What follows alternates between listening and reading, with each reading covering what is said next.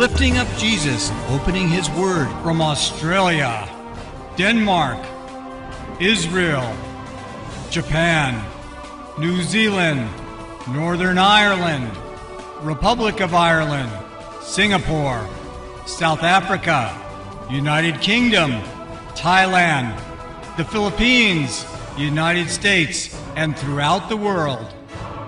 You're watching Moriel TV. I emphasize, I never tried to mix or combine my political views with my theological views or my Christian convictions. But I do believe in biblical principles applied to all areas of life, even though I would not want to be seen as identifying with or endorsing any political candidate or supporting any party. I'm, in fact, an independent personally. Nonetheless, Jesus never forbade self-defense. He said if you, you knew what hour a thief was going to break into your house, he would defend it. Another place he said, bring two swords. It's interesting to note that the idea of gun control being propagated in the black community was done in the Jim Crow South. They did not want black families or black people to be able to defend themselves from the Ku Klux Klan. Hence, the anti Second Amendment gun control agenda was pushed in the black communities in the American South by the Democratic Party, disarming blacks so they'd be at the mercy of the Klan. Again, that's the root of this. That is the very source of this. With the outrageous amount of gun crime taking place in the inner cities, why should honest Afro American citizens not be able to defend themselves? Remember, for every black person shot by a policeman, black or white, 58 were shot by other blacks. In black on black violence, most of the gun, uh, drug related, in the inner cities and in the Afro American community. Why should Afro Americans not have the same right under the Second Amendment to defend themselves and their homes and their families as any other American? Um, yet this is being thrust upon black people as something in their interest. Well, that's what the Klan said. It's not in their interest. Again, I'm not trying to push any political agenda. I'm simply looking at the facts. Hi, this is Tim with Moriel TV and Moriel Radio here with James Jacob Prasch live in the States. Jacob, one of the believers had the question What is the mark of Cain and what kind of ramifications has a misinterpretation of that uh, been throughout history? First of all, there have been a certain amount of confusion by people who obviously don't read or understand the Hebrew language, confusing the curse on Canaan in the prophecies of Noah following the flood in Genesis chapter 9 in post-Diluvian era of, of biblical history uh, in Genesis 9.25 with the curse on Cain, the brother of Abel, in the book of Genesis chapter 4. These are two different words with two entirely different spellings. The two texts are not even related, but we will briefly look at both of them. The question today is, how is this mark of Cain or the teachings about Cain being misapplied or how have they been misapplied historically? Let me preface my response by pointing out I am not attempting to make any political statement or endorse any political party or endorse any political candidate. What does the Bible say about the African race, about black people? Tragically and unfortunately, the point of commencement among racists is usually the mark of Cain or the curse of Cain. That should not be the point of commencement. The point of commencement should be the three sons of Noah, Japheth, from where the European and Asian nations ethnically derive, Shem, where the Semitic nations, such as Jews and Arabs, derive, and Ham, which is where the African nations and certain others derive. The descendants of Ham, who populated Africa, were called Cushites, Cushites, or Cushim, from the land of Cush. In the ancient Middle East, people did not know about the Congo, or they did not know about South Africa, or about Zambia, or Zimbabwe. But they did know about the Horn of Africa. They did know about Sudan and about the people who are the forebearers of the modern Nubians in Upper Egypt. These were called Cushites from the land of Cush, often associated with Malkishava, the queen of Sheba. Hence, the Hebrew term, the Hebrew term for a black African is the same as the Hebrew term for an Ethiopian. Most of the black people they knew, from Sudan into Eritrea, Somalia, the Horn of Africa, that area, the people with the darkest skin who the ancient Hebrews knew were from the land of Cush, Cushites. So first of all, anthropologically, there's a false point of commencement in dealing with what the scripture says about black people, about black Africans. The curse of Cain. Let's begin to dispel this ridiculous myth to begin with. The curse of Cain, or the mark of Cain, commences with Cain, the brother of Abel, in the book of Genesis, chapter 4.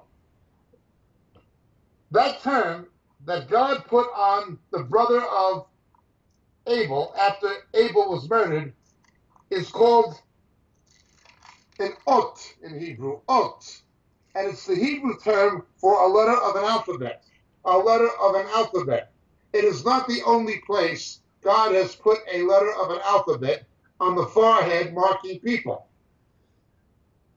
In Ezekiel, those who escaped the judgment were given the mark, which is, of course, replayed in the book of Genesis.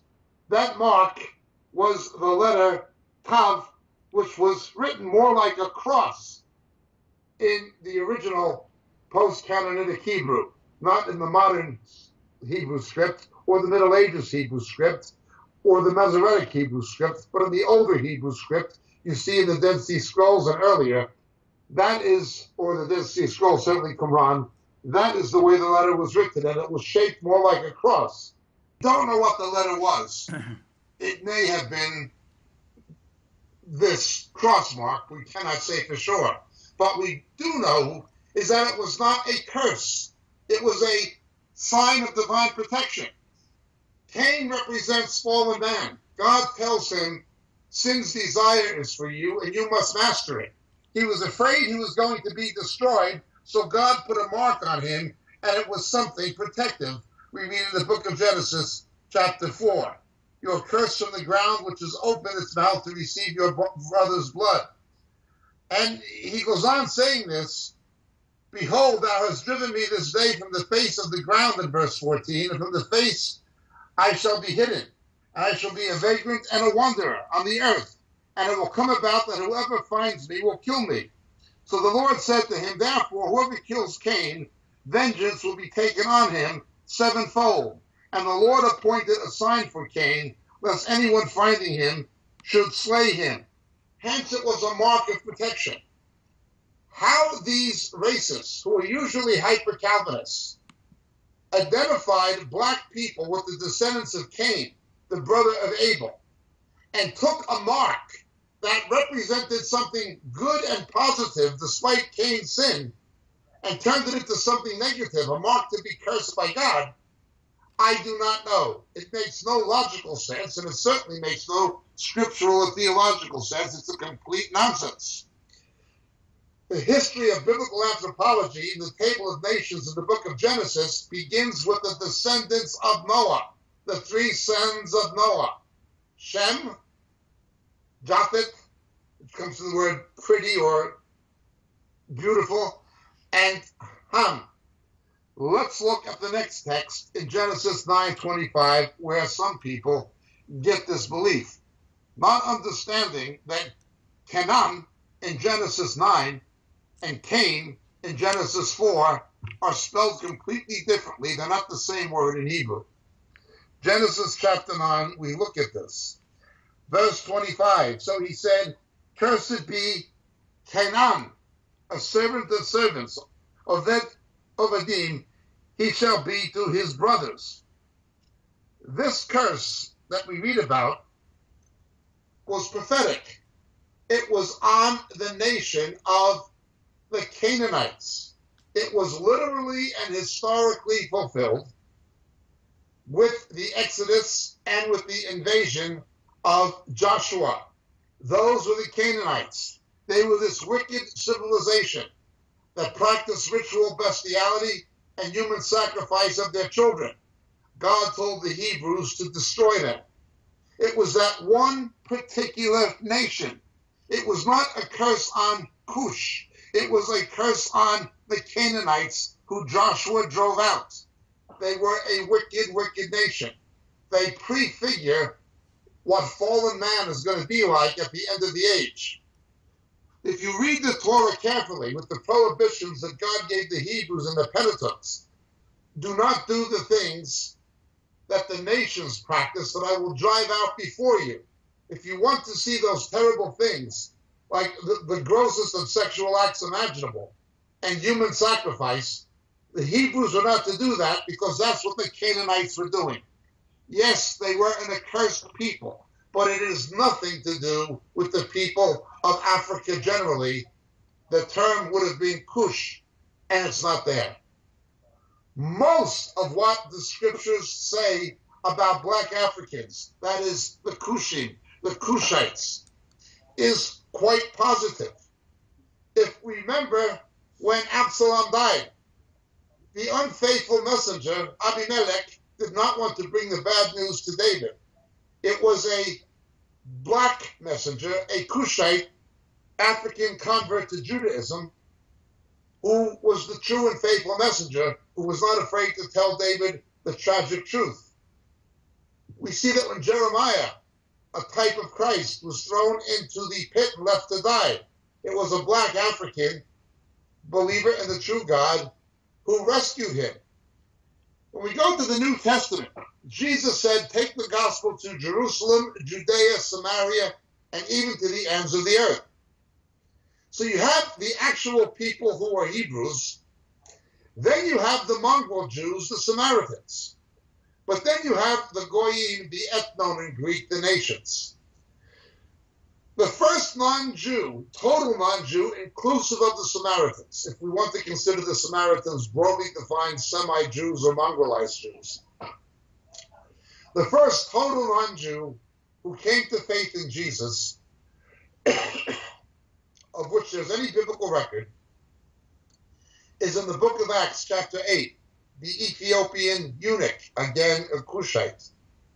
So the first person saved from the nations other than the Jews that we have a record of who became a believer in Jesus is a black African. We have to understand something. The book of Acts only gives us basically one direction that the gospel spread. That is via the northern Levant into Europe, the Greek speaking world, and then into Rome. The gospel also spread east. The gospel also spread south into Africa. The gospel also spread northeast. The Armenian Empire Christianized well before the Roman Empire, but people don't know that, generally speaking. There are historical records of Thomas the Apostle going as far east as India and of Matthew to Ethiopia. Most of them, of course, were martyred. They were all martyred except the Apostle John Africans accepted the gospel.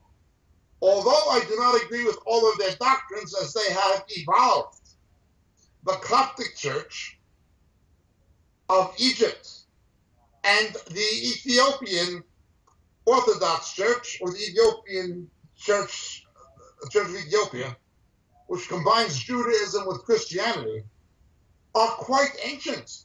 They are quite old in, in their antiquity. They've been around a very, very long time. They have roots that would parallel the origins of Christianity in Europe. Probably at least as old as the Eastern Orthodox Church or the Roman Catholic Church. Black Africans responded to the gospel, even though there was, of course, opposition and persecution as there was everywhere.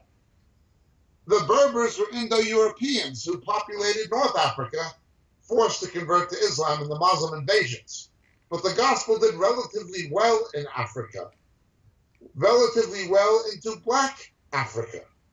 Again, the first convert to Christ who was not from a Jewish background in any sense, if we include the Samaritans, of which we have a biblical record, is a black African convert to Judaism with Philip the Evangelist.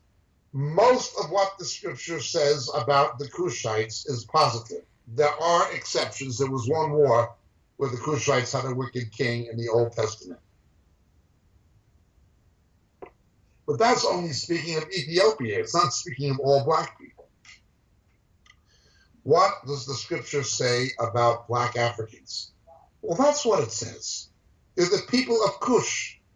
Most of the ones who are named in the Old Testament, in fact, except for one king of, of all the other ones were spoken of rather positively. Same as we see in the New Testament with Philip the Evangelist. The scripture does not take a negative view of black people in any sense of the word.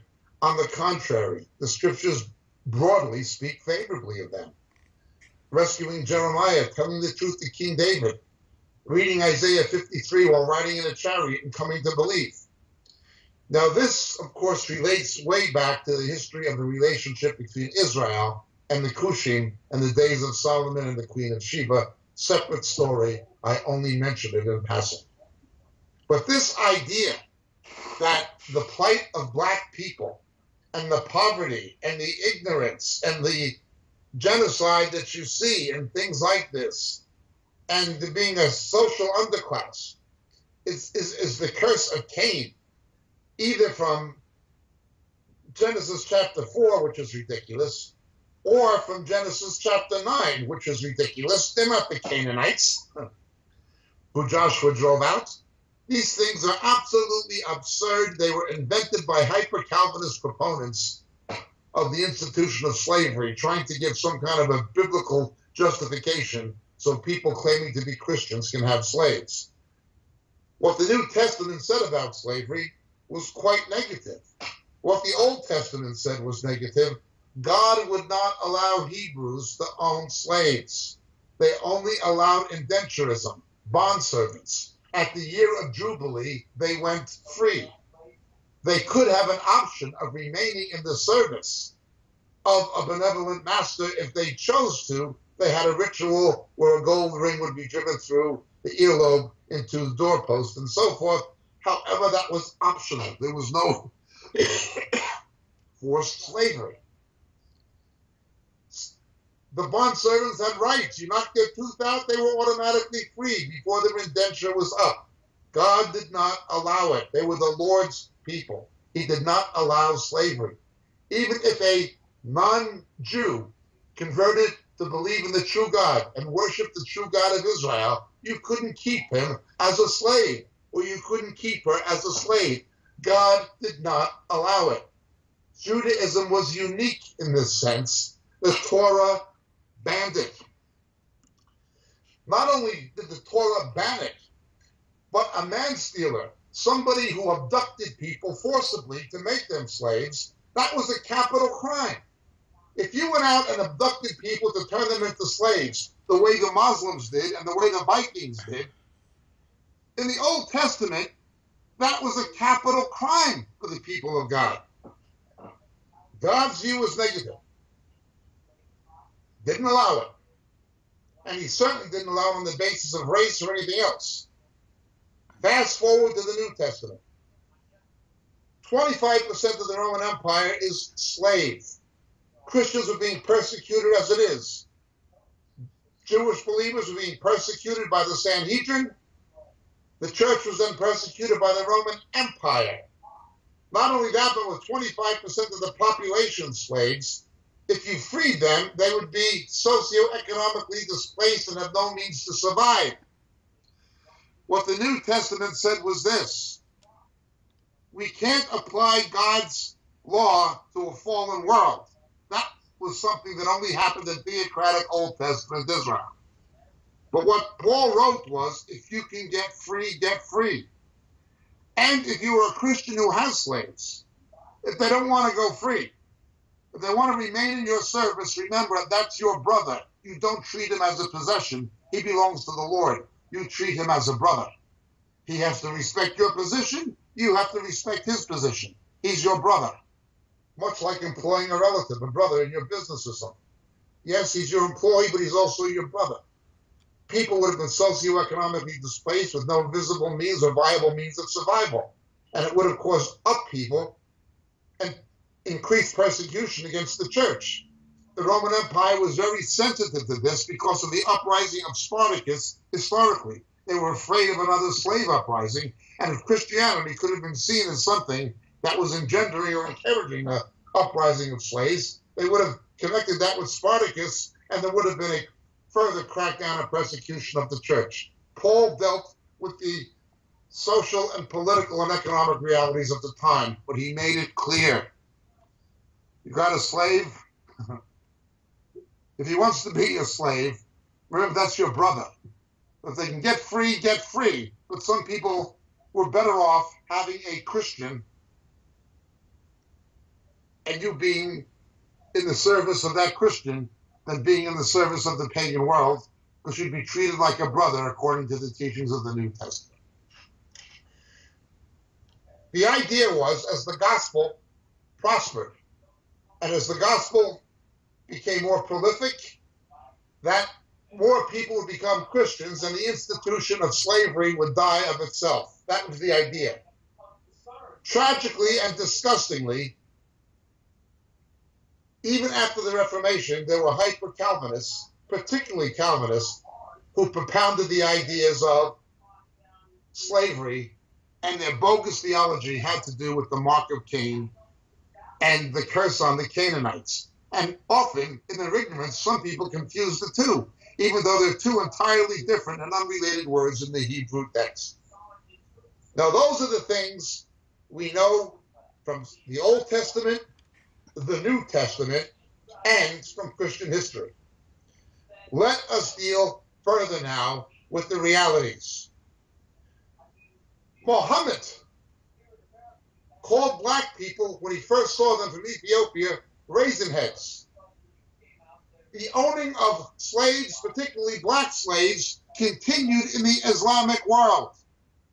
The first countries to abolish slavery were Christian the last to abolish slavery are Islamic, except that they haven't abolished it yet.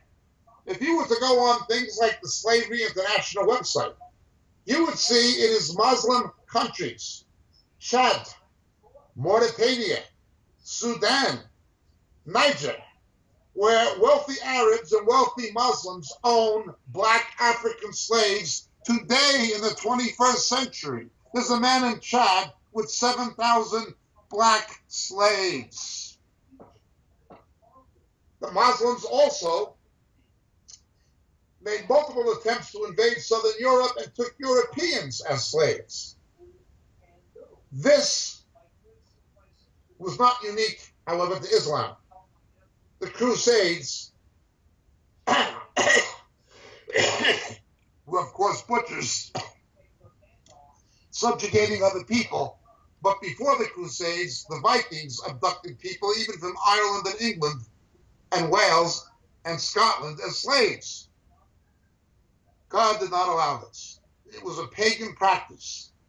It's a shame and a disgrace that you had Calvinists doing what Vikings did, what jihadist Muslims did, and it still goes on we have the absurdity today. You have people like Louis Farrakhan teaching that Christianity is a white man's religion and that Islam is the religion of black liberation. Go on YouTube and watch black African women being flogged mercilessly under Sharia in black African countries that have Islamic law. That doesn't happen in the Christian world. That happens in the Islamic world you had a kind of Afro Islam that combined animism with Islam that existed in the 15th, 16th, 17th, 18th, 19th, and even into certain areas the 20th century. These Afro Islamic believers had tribal chiefs. Again, they were mixing tribal animistic beliefs and ancestor worship and things like this, combining it with Islam. It was not that white people came and abducted blacks and took them as slaves to South Carolina, to Charleston, and to New Orleans. That's not what happened. It's not that Bristol was the slave market of Europe for black Africans. That's not how it happened. Because of Afro Islam, slavery was already practiced in Africa. What white slave traders did was buy these slaves. They bought people who were already slaves, buying them from their tribal chiefs or from the chiefs of rival tribes who fought against them and conquered them, and then sold them as slaves to Europeans. It was not that the white people went and took them as slaves. They were already slaves. They were held in slavery by other black Africans who were Muslim or a form of Islam. Again, elements of this still exist with Boko Haram. This was not all ancient. Be that as it may, they were already slaves and they were brought to the New World. The hyper Calvinists of the South again began this mark of Cain nonsense teaching to justify it. There was quite a controversy within the British Empire when black slaves in places like Jamaica began to respond to the gospel. There was a question can black people even be saved? Why are you baptizing them? And there was division within the Anglican Church over the issue. Now, again, this was not unique to the British. The Spanish conquistadors did the same thing to North American and South American Indians, particularly South and Central American Indians. The Jesuits did the same thing in the name of Catholicism at the behest of the conquistadors. They did the same things to the Incas, to the Aztecs, to the Mayans, and so forth. Blacks, however, were taken from Africa and transplanted as Afro Caribbeans by the British and French, or they were taken to the United States to work in agriculture, particularly the cotton fields. Fast forward. Right from the aftermath of the American Revolution, the issue of slavery was an issue. You had people like John Quincy Adams who were opposed to it, very much so. And it became a North South issue. You had people such as uh, Preston Brooks who were advocates of slavery, and they bought into this whole agenda. You had other people um, who, who were trying to, to compromise and hold the country together. Uh, but eventually it would come to a head inevitably after slavery was abolished in the British Empire. America was next. Slavery was abolished in the British Empire following the rise of Methodism and John Wesley, who opposed it. Unfortunately, George Whitefield, who was a Calvinist, supported the institution of slavery and actually owned black slaves. Wesley was against it. We know the famous story of the author of Amazing Grace, the composer of Amazing Grace, who was a slave trader, John Newton. When his life was miraculously saved as a captain of a slave ship at a, at a wreck at sea, he had a revelation of Christ and he was born again. Composed the hymn Amazing Grace and devoted the rest of his life to preaching the gospel and working against the institution of slavery. This idea of evangelical conversion and abolitionism went on for some time. It began in England. During the American Civil War, the British reckoned that the best light cavalry commander in the world was General Bedford Forrest from Memphis, Tennessee. He again was a personally wealthy plantation owner with a stock in slaves and in cotton. After the war, in reaction to the occupation of the South under what was supposed to be the Reconstruction, he forms and becomes the primary founder of the Ku Klux Klan. This is Bedford Forrest. Using the same cavalry techniques as he used as a Confederate light cavalry commander that so impressed the British, who at that time were the number one world power. However, later in his life, after undergoing an evangelical conversion and being born again, Bedford Forrest renounced his past sin. He renounced slavery. And he worked to bring about equality between the races on the basis of Christianity. Again, he became an American, John Newton. During the Civil War, he was hated. The Union generals referred to Forrest as a devil. He had brilliant cavalry tactics. He was almost unstoppable. He was so elusive they couldn't deal with him. They called him a devil.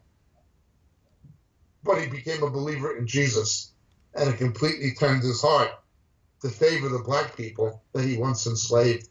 This is the founder of the Klan who became a Christian and denounced what he did, denounced what the Klan was, and denounced racial injustice and bigotry because of his faith in Jesus. Christianity has always been the faith of black liberation. The civil rights movement came from the Southern Christian Leadership Conference, Christian Leadership Conference, Martin Luther King in the 20th century. The biblical influences were there. But going back to the 19th century, people like Frederick Douglass, and after that, people like George Washington Carver, the great black scientist, and people you know, like Booker T. Washington, the great black educator, but certainly Frederick Douglass, the first black human rights activist. These people were committed Christians. They were committed Christians. Martin Luther King went into theological liberalism because of his theological education. It was not conservative Baptist, it was liberal Baptist. But something appears to have happened to Martin Luther King at the end of his life. The world remembers his I Have a Dream speech delivered at the March on Washington on the steps of the Lincoln Memorial. That was indeed a political speech. But his final speech before he was murdered by James Earl Ray, some say with the complicity of the FBI, some say, with some reason to say it, because of the remarks of J. Edgar Hoover himself, according to the testimony of his successor, Patrick Gray, that before he was murdered, his last speech in Memphis was not a political speech. It was a sermon. Martin Luther King denounced Soviet communism and Chinese communism. He denounced these things in that speech and previously. Martin Luther King also denounced anti Zionism as anti Semitism. He was a supporter of Israel. His father and his family were Republicans because going back to Lincoln, the Republicans were the party of emancipation. The party of slavery were the Democrats, and the party of Jim Crow were Democrats. Martin Luther King had something happen to him when he gave that last speech. He stopped speaking politically at one point in that speech, if you watch it carefully on YouTube. And he said, I no longer care about these things. I only care about doing God's will. I've been to the top of the mountain, and my eyes have seen the glory of the coming of the Lord. He spoke of the return of Jesus. Then he was murdered the next day something happens when people have that kind of confrontation with the real Christ. Something. Quite a thing. But Islam, to this day, to this day, wealthy Muslims own black African slaves. You'll find oil sheikhs from the Arabian Peninsula and the Persian Gulf going on private jets to poor black African countries calling it employment contracts, but buying little girls, underage girls from their families for like $200, flying them back to the harems in Saudi Arabia. When questioned, and this was broadcast on television some years ago, they were saying, What's wrong with it? Our Prophet Muhammad did it. Muhammad married Aisha, the daughter of Abu Bakr, when she was six and took, took her virginity. When she was nine, he was 54. It's still going on, and the little girls are black. Black slaves in the 21st century, and who owns them? Not Christians, Muslims. Yet you've got people like Farrakhan and these others pushing this ridiculous agenda that Islam is the religion of black liberation and ends racism. Nothing could be further from the truth. Over the issue of slavery, you had a split in major American denominations. Why are there um, Southern Methodists and ordinary Methodists in America? Because of slavery. The Southern Methodists followed a Calvinistic pro slavery line, the others were opposed to it, following John Wesley. Why were there Southern Baptists and American Baptists? Because the Southern Baptists followed that same line. The American Baptists opposed slavery. In Islam, no such thing ever happens. There are still black slaves, yet black people are being told the lie that it was Christians who did this to them, and Islam is their hope of liberation. And many of them believe it. It's unbelievable what people can be manipulated into believing. Let's look at the historic facts, the historic truth. I do not make light of the plight of the inner city poor, who are in disproportionately large numbers Afro Americans. Bearing in mind there are poor white people, there are poor Hispanics, and unless they live close to a major population center or resort where they can benefit from untaxed casinos, there are poor Native Americans. It is not exclusively a black problem. Martin Luther King knew that, said that. But let's look at this. Haiti has been an independent black country since the 1700s. It's one of the poorest and most corrupt and unjust countries in the world. People in Haiti, a black country, an Afro Caribbean country, would love to leave Port au Prince and live in a housing project in Chicago or Philadelphia. They'd be hitting the jackpot.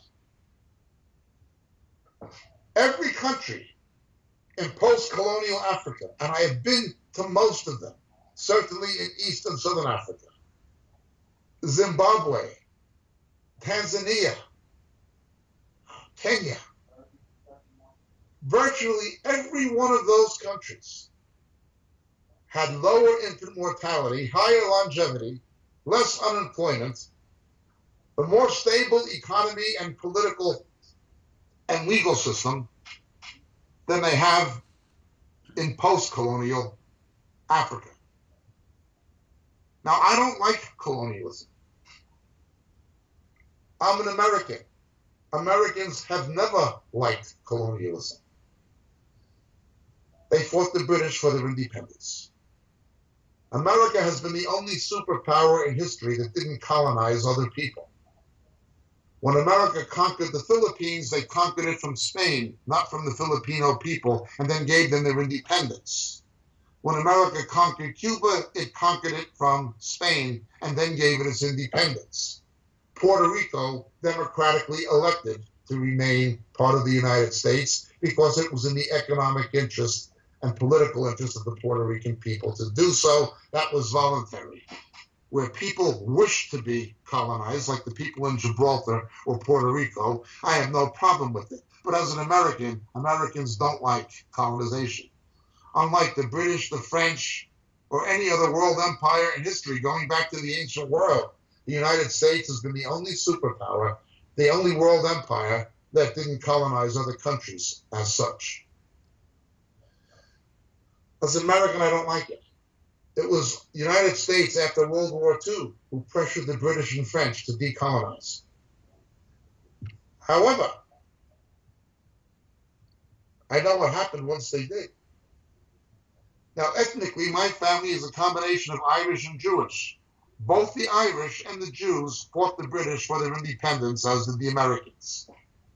There is nothing in my family or my background, my heritage, my blood, my genes, my citizenship, nothing that would support colonialism. Unless it's a case like Puerto Rico or Gibraltar, where the people actually prefer it. That's something different. Because it's in their interest and they want it, then I have no problem with it. As long as it's the democratic will of the people who are colonized and they have equal rights and so forth. Why is this curse on Africa? That every one of these countries was better off.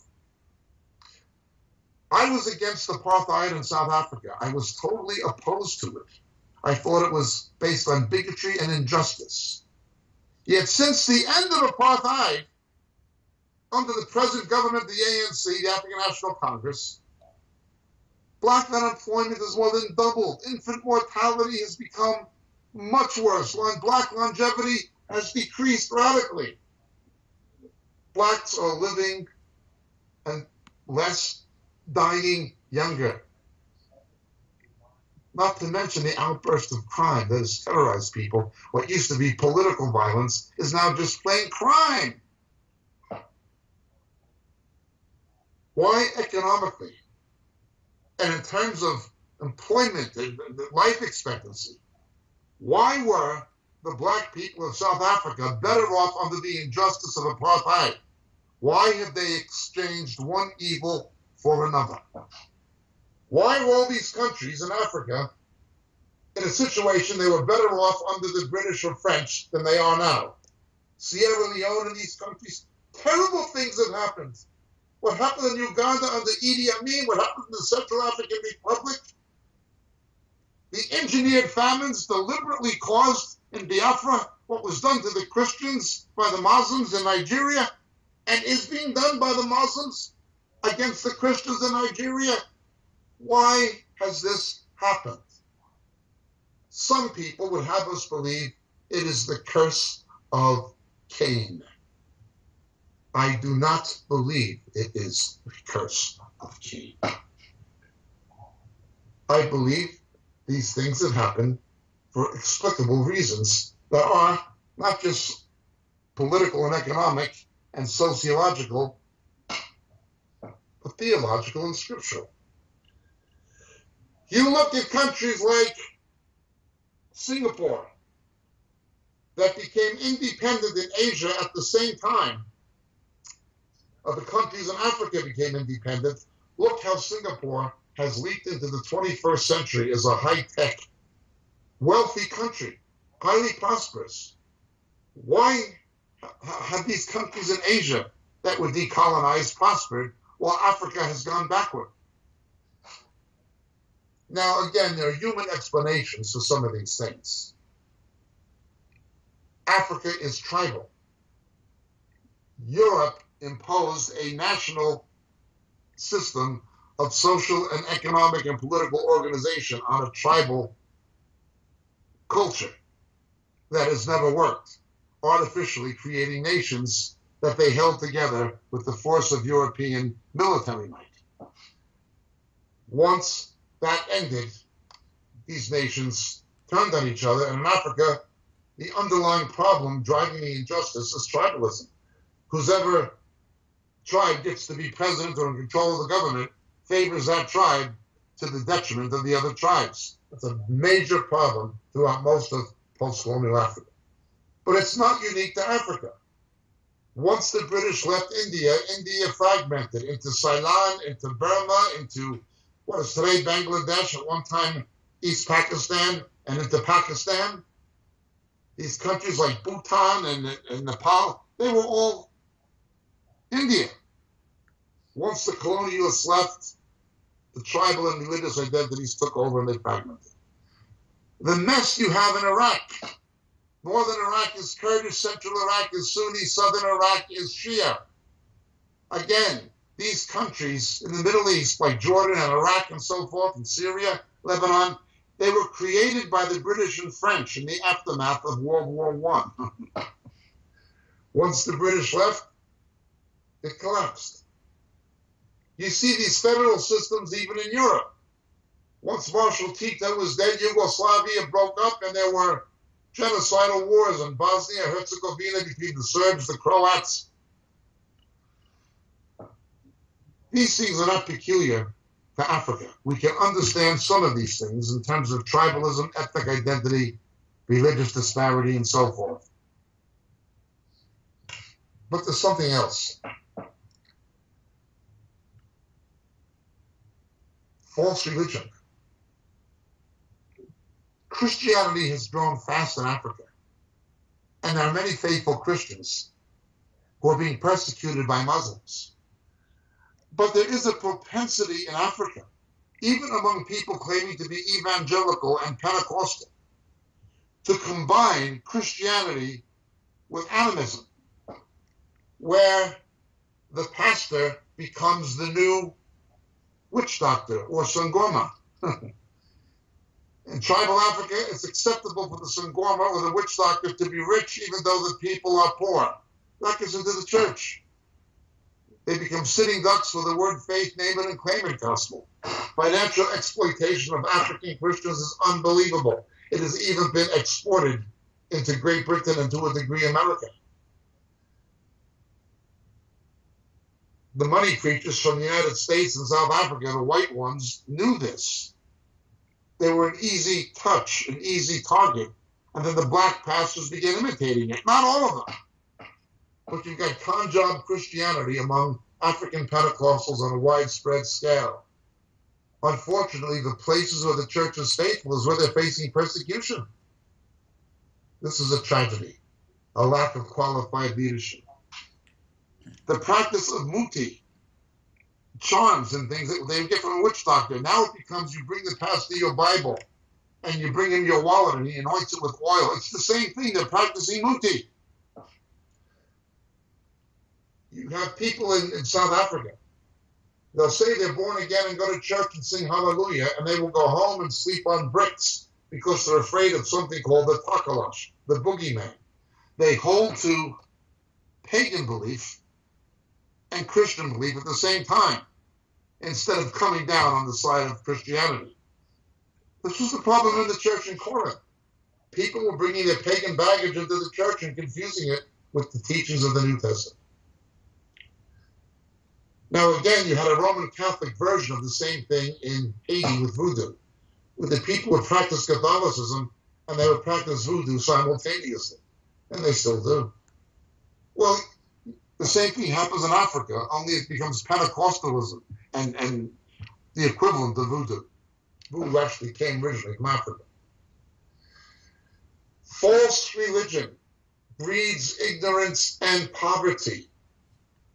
True faith in Jesus brings salvation, but it will also bring upward mobility. I don't mean a gospel of health and wealth, but I do mean when people live by biblical standards, as John Wesley said, it will increase their standard of living eventually.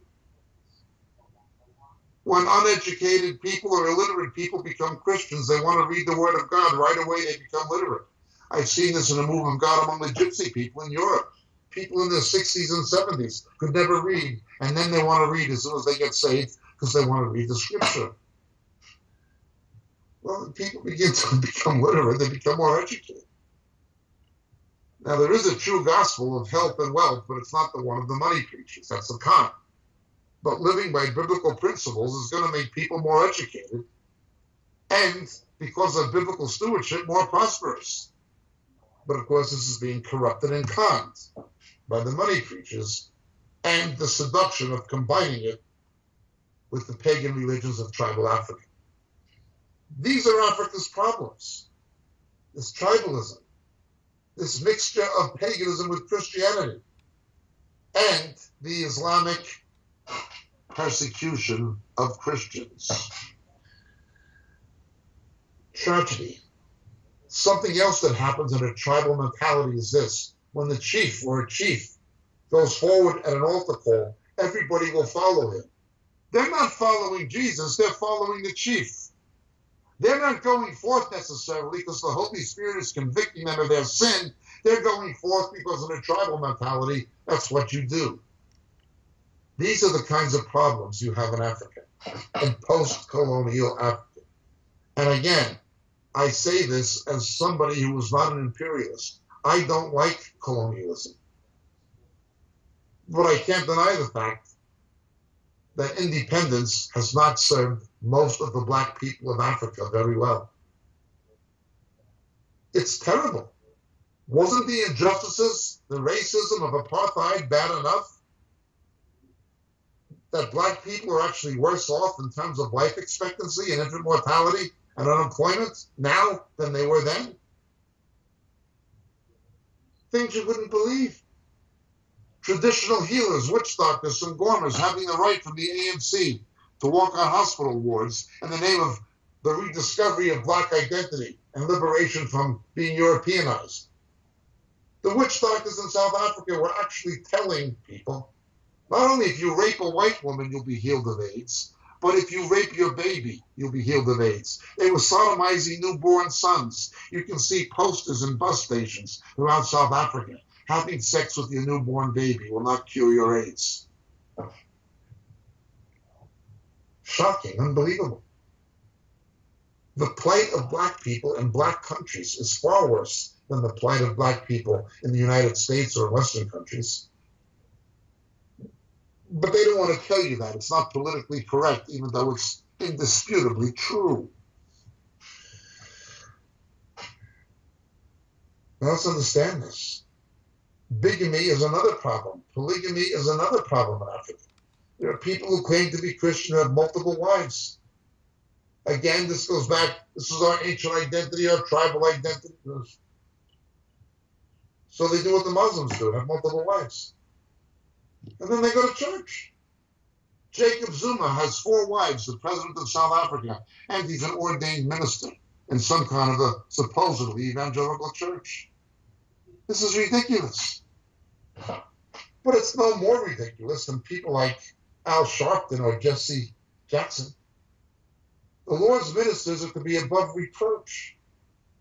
Jesse Jackson's Rainbow Coalition, soliciting money from corporations and foundations to help inner city black youth. Paying an extravagant salary, six figure salary, to the mother of his love child born out of wedlock to keep her quiet. Then he gets caught. He's allowed to stay in the ministry, and he is their role model. That's your role model? Three out of four black children in the United States now born out of wedlock, including the son of their leader. This is terrible. This is a shame and a disgrace. The pro homosexual position of Al Sharpton. Yet I heard him on the radio calling homosexuals derogatorily homos. He knows it's against black culture, but he promotes that agenda. These are ministers. These are people who claim to be preachers, the ministers of the Lord, of the church. What's going on here? Something is very much wrong. What does the Word of God say? Let's understand something. I'm not trying to make a political speech. I'm simply stating facts.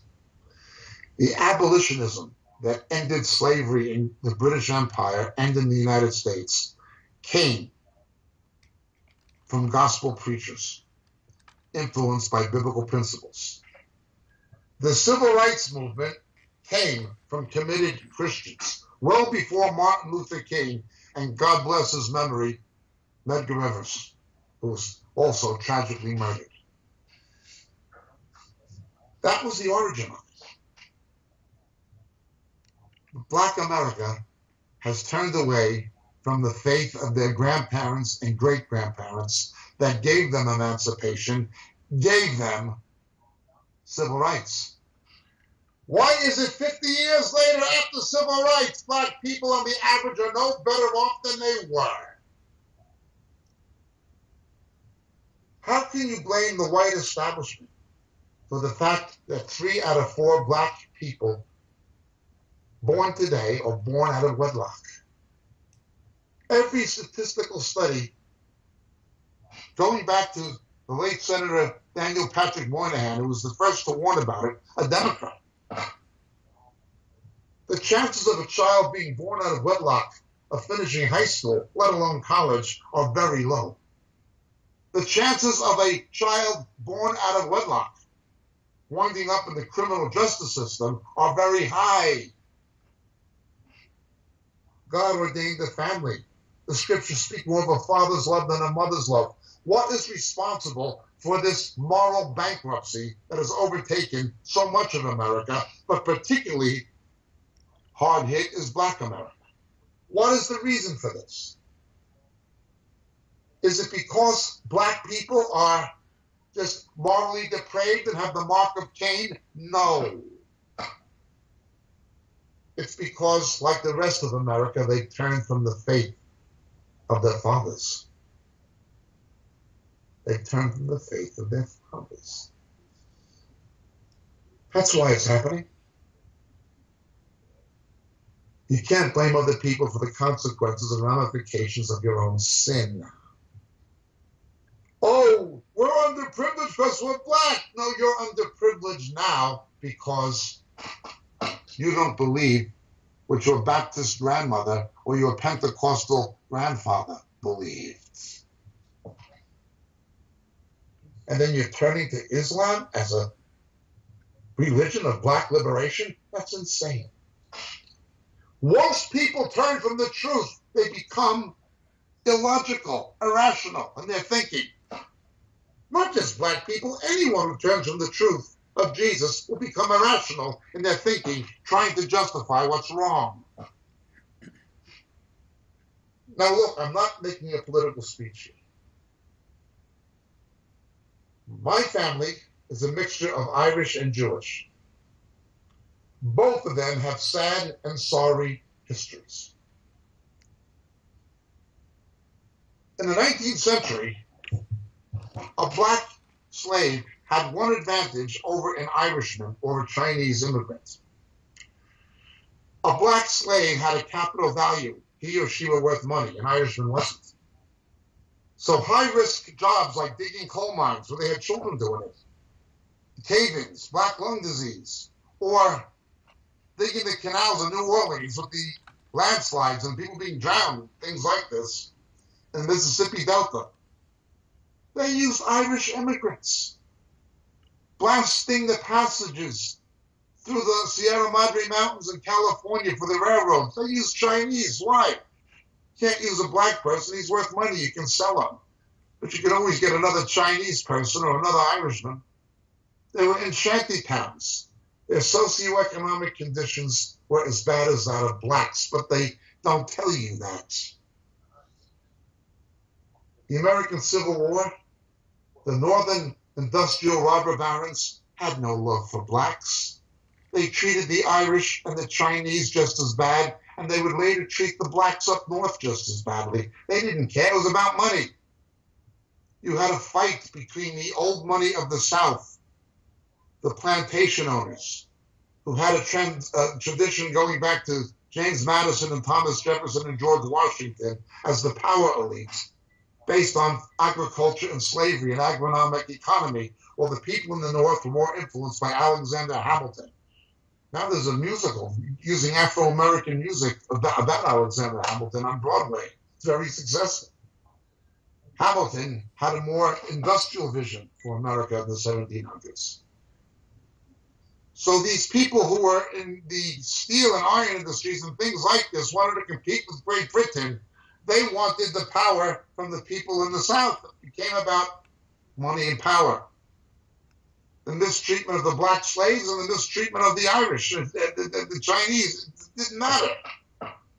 Now, there were individuals who were true abolitionists who didn't agree with slavery, who had conviction, that's for sure.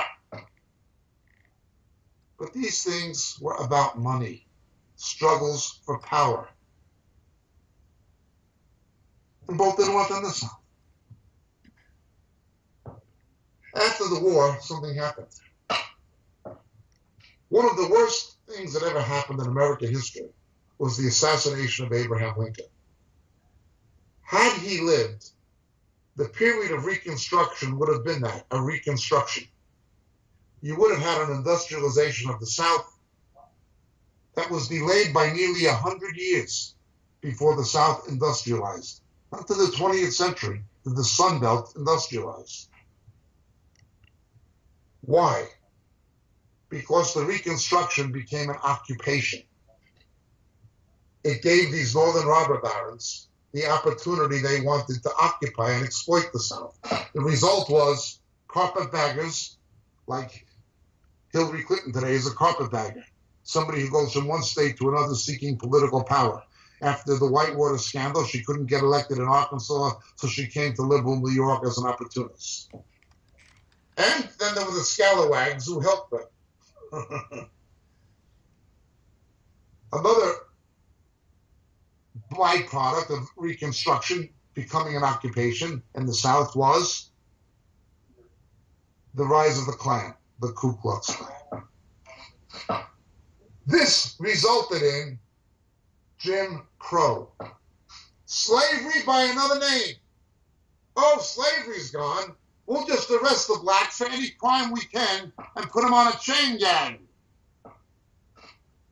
the institution of slavery was, in a sense, perpetuated simply by another name. There was the Klan, there was Jim Crow, all propagated by the Democratic Party, by the way. Senator Byrd from West Virginia had been a member of the Klan. He only died about 10 years ago. Now you think about this. George Favor, the mentor of Bill Clinton, voted against the Civil Rights Act. Al Gore's father, a U.S. Senator, voted against the Civil Rights Act. These were all Southern Democrats. What are the Clintons? What is Jimmy Carter? What is the sad soul who's running with Hillary Clinton now, her vice presidential running mate? Southern Democrats, the party of slavery, and the party of Jim Crow. Again, not to be political, but what happened when Clinton was president? So called welfare reform. And a crackdown on crime that vastly, vastly increased the Afro American prison population. Put him back in jail. Also, something else seducing the black community into buying into the abortion agenda. They've got a solution to the problem of black youth and black crime. Abort them in their mother's wombs, or let them shoot each other dead in the streets of Chicago, Philadelphia, Detroit, and these other cities, all with liberal Democrat governments. I look at the godlessness of San Francisco, where homosexuality runs wild. Most of the entrepreneurs in the high tech industry in Silicon Valley are Democrats. Mark Zuckerberg and these people Democrats. People who run Apple are Democrats. Pro homosexual You've got the opposite of what you used to have. Instead of people living in the suburbs and commuting to work in the city, now you've got Google buses in San Francisco. They live in the city and commute to work in the Silicon Valley. Where are they getting their homes? Driving blacks and Hispanics out of their neighborhood and making condos of those buildings. The blacks go across the bridge to Oakland into the ghettos. And then you make it a city of refuge. You bring in illegal aliens to take the jobs away from blacks and Hispanic Americans. And then blacks vote for them. Now understand, no Jew would vote for a Nazi. They might be Democrat, Republican, liberal, conservative, independent, libertarian, whatever but they would never vote for a Nazi. I live in Great Britain sometimes. No Irish Catholic person in Northern Ireland would ever vote for the Unionist parties. because of the potato famine and the black and tan. No Irish person would vote for the Orange Unionist parties. No Jew would vote for Nazi. No white person would vote for the party who did that to them.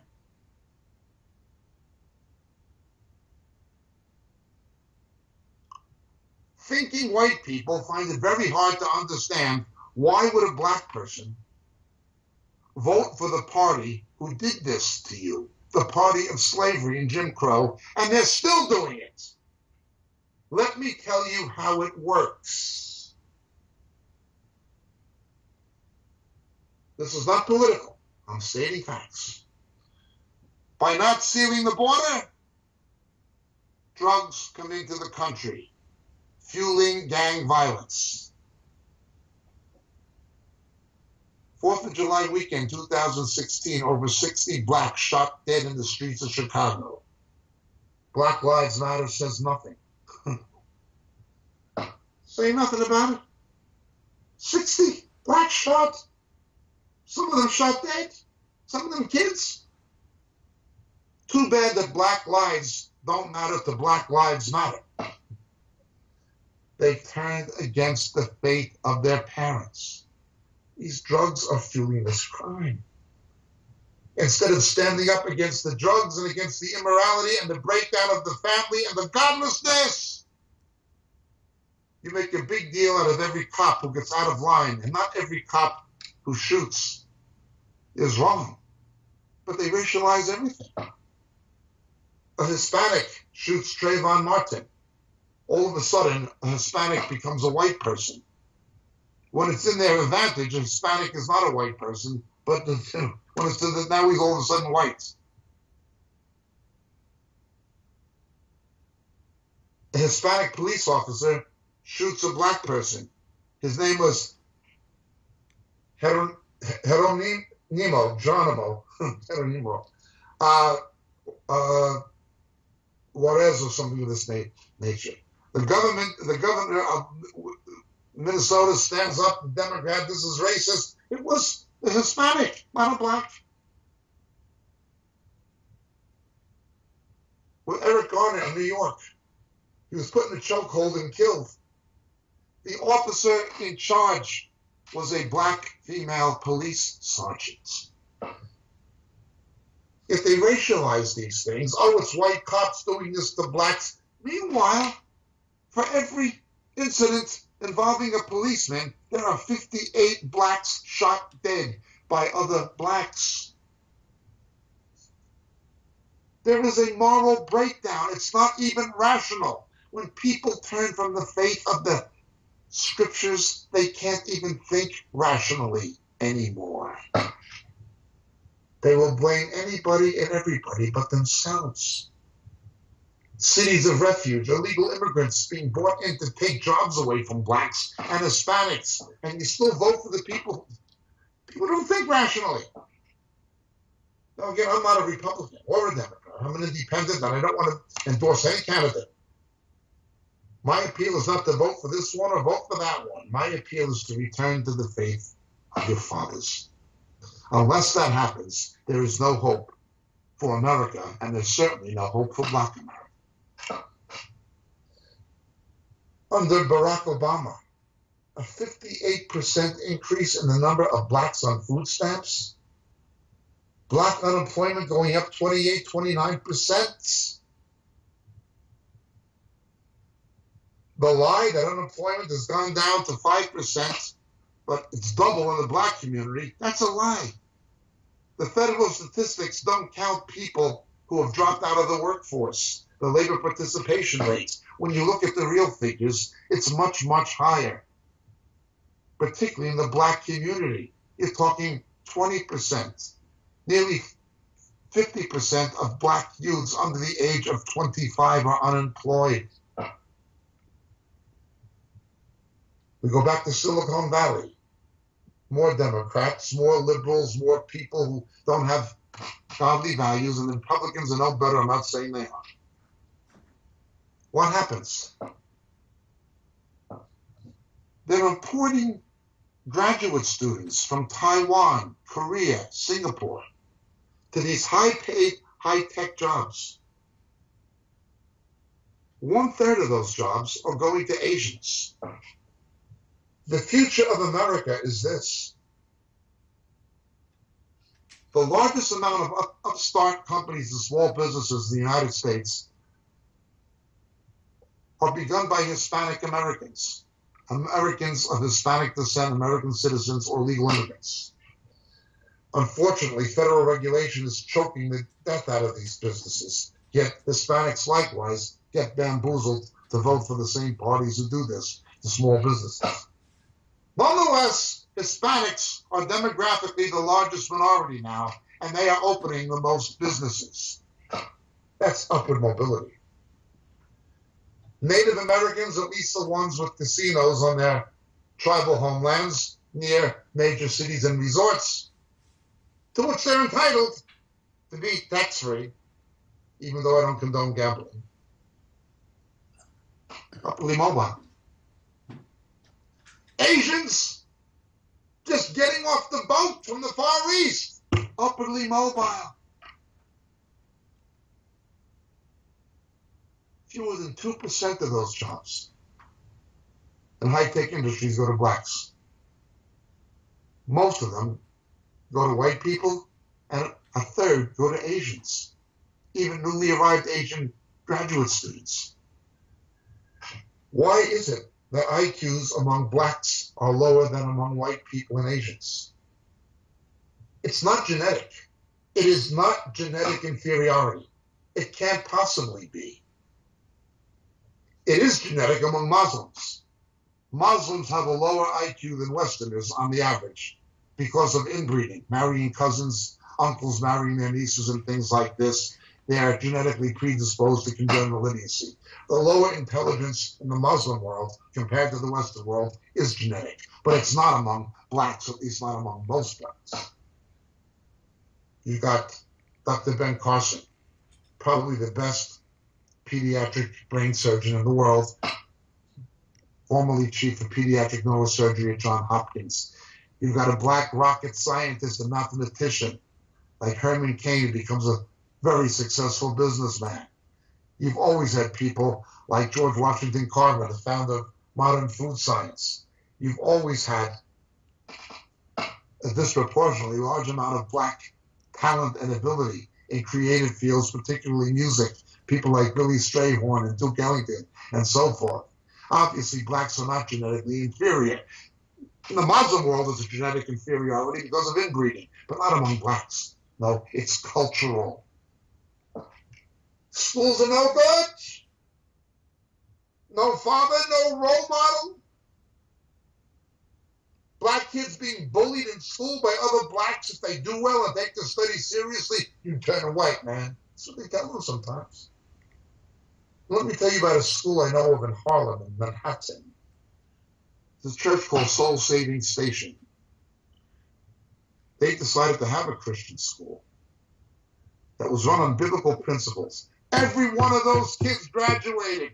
Every one of those kids went on to college or university. Every one of them. Because Jesus was there. Grant maintained schools. You've got crooked teachers' unions that are not about education. They're about social engineering, creating a permanent underclass. The only thing that teachers' unions are are political campaign funds for left wing politicians. That's why they're against grant maintained schools. That's why you got these people like de Blasio in New York are against it. They don't want the black people to have a good education. They'll be upwardly mobile. You have to create a victim mentality. Why this breakdown of the family? Blacks have no morals. No, blacks had a traditionally high moral standard because of Baptist and Pentecostal churches. It's because the party of Jim Crow made food stamps the new supporter of the family. You don't need a husband and a father. You just need to get in line and get your food stamps. What does the New Testament say? If a man does not work, neither should he eat. I was in Jersey City, New Jersey yesterday. I was looking at situations with black women have up to five children from three different men, and they're all on welfare and food stamps. The fathers aren't supporting them. The New Testament says if a man doesn't work, he shouldn't eat. Well, I can't get a job. The legal aliens have taken them. They've actually created this mentality where, where food stamps and welfare becomes the, the, the support of the family instead of the father and husband. What kind of a chance will those children have? But if going back to God's principles, if a man doesn't work, he shouldn't eat, he doesn't take care of his family, he's worse than a heathen. Slavery, a man stealer, somebody who abducts somebody to make them a slave, they should be executed.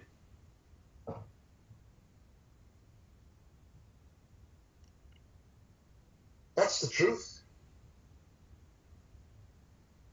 My heart breaks for these children in the black community and in the Hispanic community. What chance are they going to have? The faith in Jesus that brought about support for abolitionism. The faith in Jesus that brought about civil rights is gone. Once more, you have slavery with a new name. After slavery, it was Jim Crow. Put the blacks on a chain gang. Then it became three strikes and you're out. Cracking down on crime is one thing, but when you take people's jobs away and, and their ability to get a job and give it to somebody with no right to be in the country, oh boy. It's a corrupt system. It's fixed to keep the black man down. But he's part of it. What used to be Uncle Tom's in the days of Simon Legree, now you've got political Uncle Tom's, black poverty crats, blacks with a vested interest in perpetuating the status quo. Donna Brazile, Barack Obama, Al Sharpton. This is how these people keep themselves in power and in pocket, is by perpetuating the victim mentality and creating the underclass. Forget about Christian schools or grant maintained schools based on godly principles. Well, no, we want the teachers' unions. The teachers' unions give tenure to bad teachers. They don't protect good ones. They're about social engineering, not education. It's about Common Core, federal control, social engineering. Create a permanent underclass of blacks and other minorities to keep corrupt people in power. Again, I'm not a Democrat or a Republican, and I'm not telling you who to vote for. But what I am telling you is this hopeless situation is the result of nothing more than turning away from the faith that was believed by Frederick Douglass, that was believed by Booker T. Washington, that was believed by George Washington Carver, that was believed by many, many, many Afro American Christians. They didn't have any money but they had Jesus. They had morality.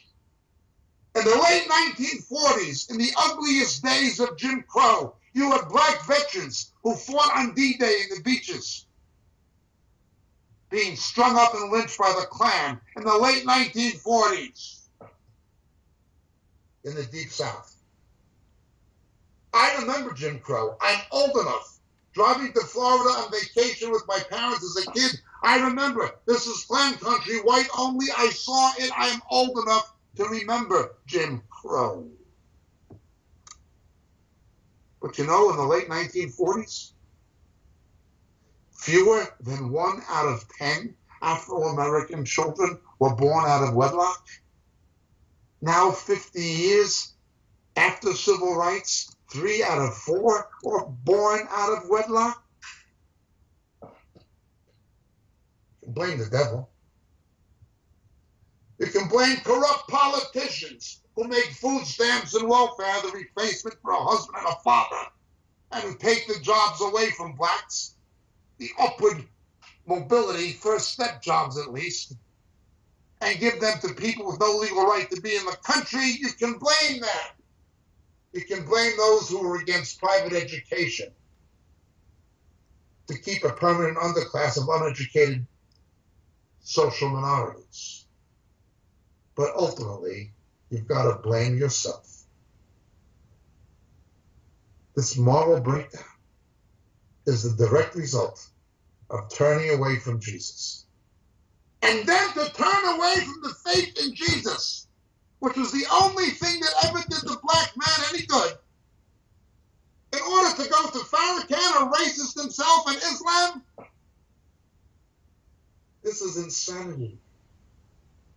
To turn to these godless ideas of W.E.B. Du Bois and the philosophies of Valencianism, totally incompatible with what was believed by Booker T. Washington. Booker T. Washington and others warned about people like Sharpton and Jesse Jackson. They warned about them. That they used the plight of the black to create a power base and a platform for their own aggrandizement. The race industry, the race agreements. Now, again, these political issues are not what I'm about. I'm about Scripture. I know there will be no resolution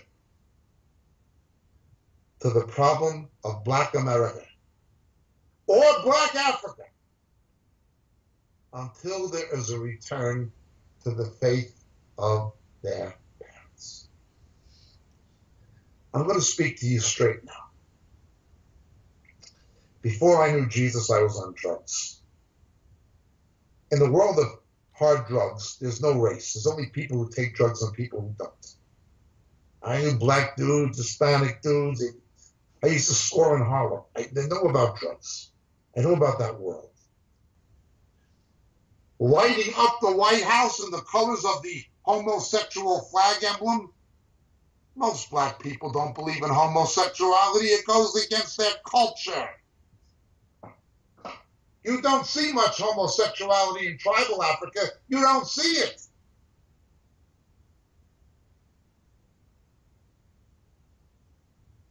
It's voting for these political Uncle Toms who don't have any morals, any scruples. They don't believe the faith of your fathers. Unless there's a return to the faith of your fathers, Black America has no future. It's the Asians who have the education and the high paid jobs. It is the Hispanics who have the numbers and the upstart businesses. At least Native Americans have casinos. Not that I like gambling again, don't. Thou shalt not covet. But what does the black man have? Nothing. You can read that book by America's, or one of America's leading Afro-American journalists, Tavis Smiley, a big Obama supporter, who admits that after two terms of Obama, black people are no better off. Well, he's wrong. Statistically, they're worse off. The unemployment, the crime in the black community, the racial division, the hopelessness, these things have never been worse.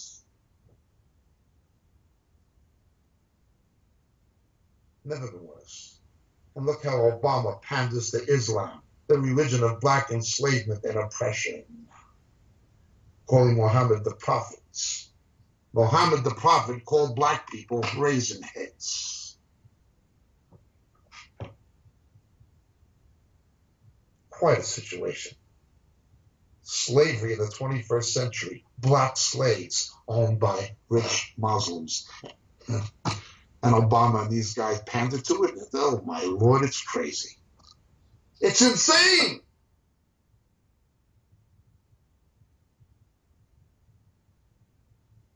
Jeremiah, the right, the, the goddamn America, Obama's meant it. He preached a sermon, goddamn America. Tell the black people in Haiti who are desperate to get to America that America should be damned. I spent a lot of time in Africa. We run orphanage for AIDS children in Africa, our ministry. Spent a lot of time in Africa and in East Africa and in Southern Africa, working with AIDS children. I can't seem to find too many black Africans who don't want to come to the United States. They'll gladly live on a council estate or a housing estate or a housing project. Ah, You know what? The housing project has become the new plantation. And the party of slavery and the party of Jim Crow, those Southern Democrat politicians, are the same ones who are still holding the black man down, and Islam is still enslaving black people. And they give themselves over to it. And when you see blacks who see through this and who are governed by biblical principles, like Sheriff Clarke or Dr. Alan Keyes or others.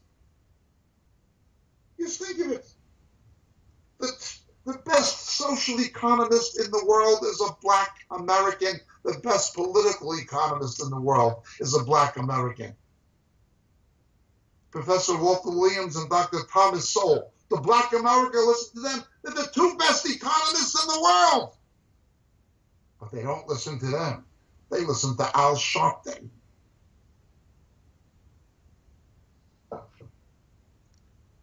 Unless you return to the faith of your grandparents and great grandparents. Unless you return to the faith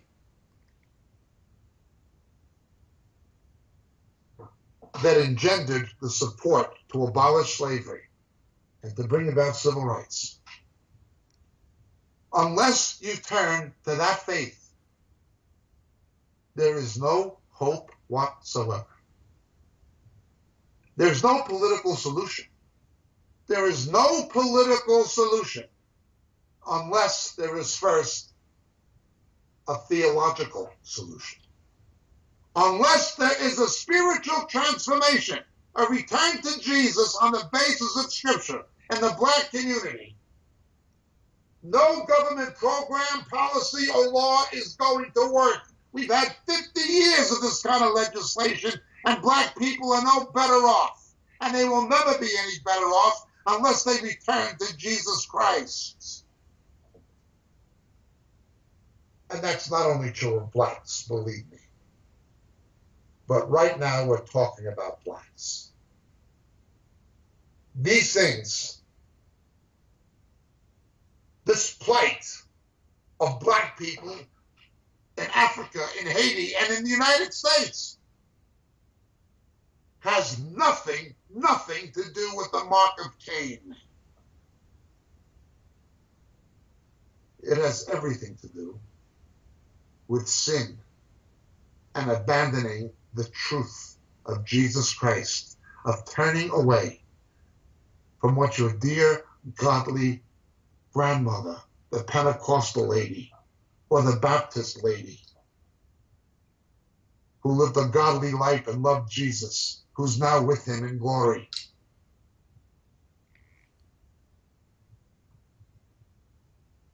Your granny was right. You are wrong. It's not about the market fee.